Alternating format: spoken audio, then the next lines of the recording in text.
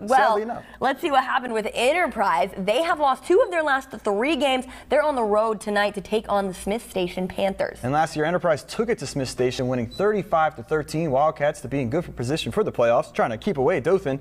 Every win matters, and it starts tonight. Wildcats on the road taking on those Panthers. Enterprise, they're going to trail 7-0, and the Panthers ran back off the opening kickoff, but here it is. Mikel Johnson, he walks in for pay dirt untouched, and the Wildcats are looking pretty good here. Enterprise decides to go for two, and the funky formation works. Quentin Hayes dives in for the score. Enterprise now leads 8 to 7 later in the quarter. Wildcats back on the move, and this time they find Johnson through the air. An easy 10 yard strike for the score. Cats this time do not get the two points, and they take a 14 to 7 lead into the break. But two minutes left in the first.